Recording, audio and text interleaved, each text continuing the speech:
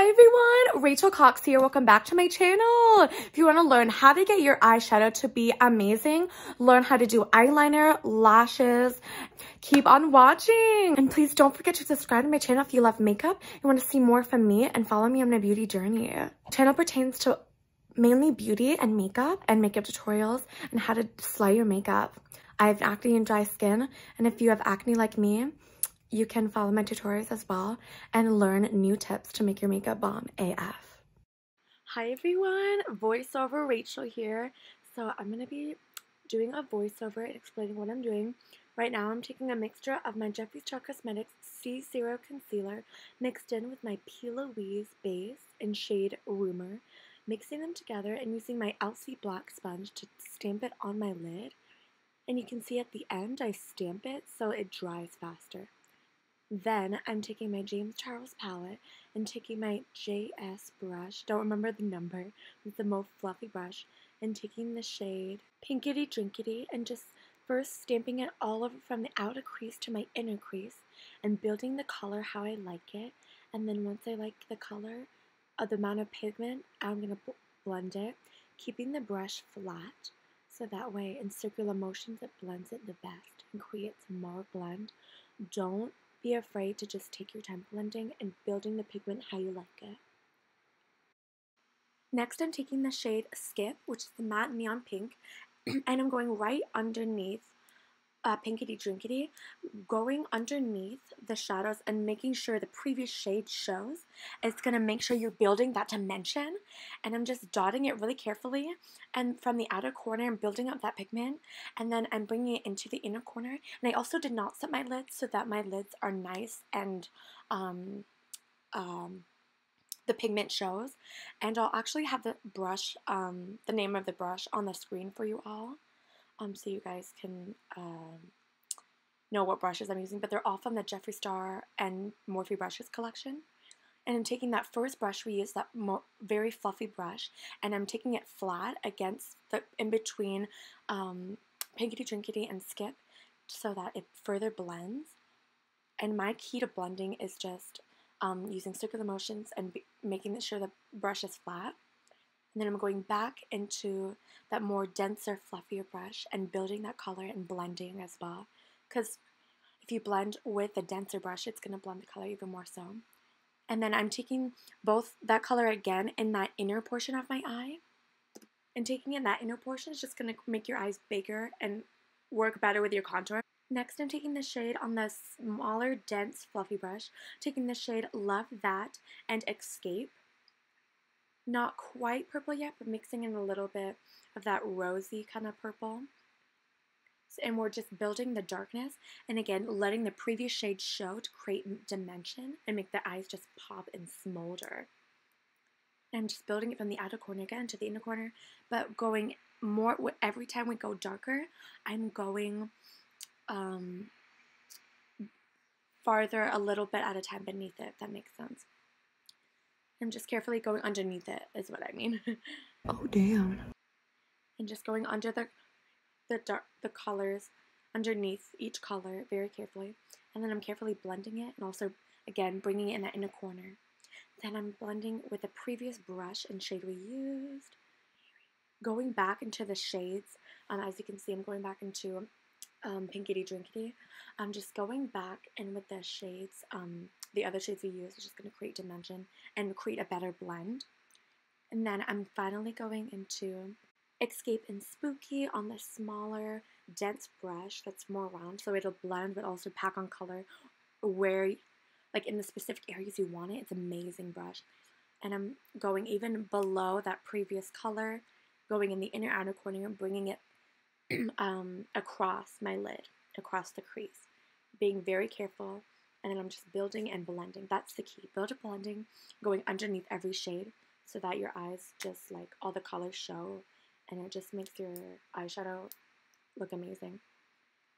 And it's also important to invest in like a great eyeshadow primer as well. Um, I mix the two, the white one to make the shot, make the shadows pop more, and the P. Louise because it creates a smooth base and you don't have to set it. I'm just building. Build any shades how you want. You can use this for any eyes, eye colors. Next, I'm just cutting the crease. And um, what, what I was saying, you can use this method for any color um, story. So blues, go with a lighter blue or darker blue. And I'm just st carefully stamping. This is an Alamere brush.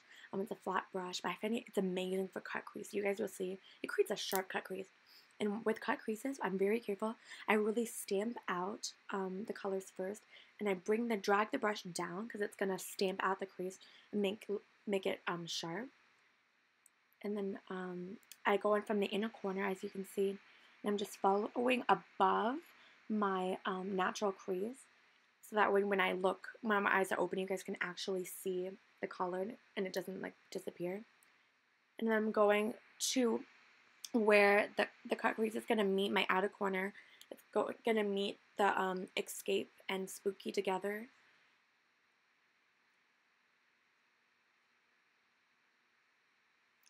And then once I have the um, once I have the great the good sharpness um, that I like and how it looks good, I'm just filling it in. Then I'm going with the shades Sister, which is like a rose shimmery gold. And I'm also, it's important because after we pat on this color, um, in the outer corner, we're going to pack those same darker colors on the outer corner. So I tapped um, the outer corner to make sure it like blends. There's not like a harsh edge of the cut crease. And dang, I was feeling myself. So I was just packing on the lid shade Sister because I want to make that inner corner and cut crease pop with shimmer. And then as you can see, I'm going in with Spooky and Escape. And it make like a purplish black tone, or more like a dark purple, I should say, but that black is just going to shine through. Then I'm going above that cut crease to make that cut crease line just stand out. And then I'm just going with like my back and forth with different brushes between the two fluffy, dark, uh, smaller brushes and going above that cut crease line, just going to make your eyes pop, make the cut crease pop. And make sure though, um, you're going to see I'm going to be blending it really well. And like with this look, you want to, to make sure like um, it, when you blend, blend really carefully so that it looks like the darkness is just like popping out, that makes sense. It's like smoldering out, honey. And then I'm just going in with the previous shades I used with those brushes. Um, going above the darker shades we used. The dark purple shades Escape and Spooky. And going above those where I applied the Skip, I think it was the um, bright neon pink. And I'm just going back and forth. Going back and forth, just going to make sure you get a great blend. And going in with the first color, Pinkity Drinkity. And right there, I was like, ooh, yes, honey. And then for the highlight, I'm actually going with my Oh Friend Nikki Tutorials highlighter. Um, it's the lighter one in the trio that she made. And I was shook because you only need a little bit um, of that highlight. And I'm just putting it on my brow bone and blending it out and building it slightly and then blending it. And it to make sure it like doesn't look like a harsh line. Um, as you see, I just was bringing the brush down and kind of dragging it down so that it just blends. Then I bring my finger and actually tap the highlight so the highlight is more blended and then I'm just taking, um, to make sure the highlight and pinkity drinkity look blended, I was just blending in between those shades, the highlight and pinkity drinkity. Then I'm, I'm taking my Kat Von D liner and carefully lining my eyes. This actually was really fast. I just did a thin line, more so using the um, side of the um, tattoo liner and then the tip of it um, to get a really thin line and using light pressure. You don't want to use too harsh pressure and then kind of putting my hand on my face kind of helped too. I kind of did that. It was more so I was holding it away, but just being very careful to line. I didn't do a wing because with this look, um, I didn't really think a wing would fit because it's more, the outer corners are more wider. But if you do this look with like a more winged out eyeshadow shape, it'll work amazing. Then I'm taking my Jeffree Star Extreme Frost Highlighter in shade Gag Me. This is literally amazing. Like, look, I literally only use a little bit. I use it with my finger because with the brush, it does not perform as well. With the finger, it grabs the product so good and just disperses it.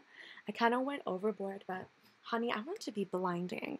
And literally, you don't need a lot with this. It's expensive, but if you could have one highlight for the rest of your life, this is it.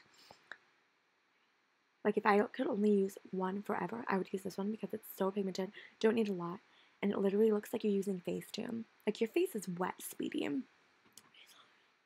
And on my I don't know. I, I did it off camera, but it kind of blend the um part of the highlight that kind of looks kind of messy right there. You can see in the light, kind of looks like it's on the contour. So I did go ahead off camera and blend that.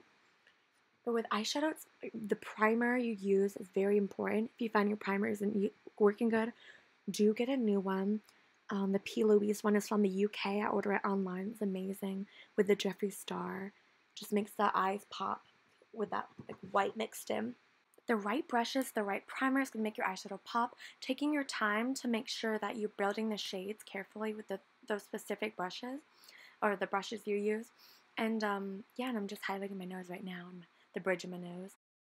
The key to making your eyeshadow look bomb is making sure each shade you use, it shows. So with every step. So your light, the lightest shade shows and all your shade shows. I'm just going with my Lilly Lashes Miami. This is completed look. This is how to do your eyeshadow in 2020 like a pro, honey. Please subscribe to my channel. Thanks for watching.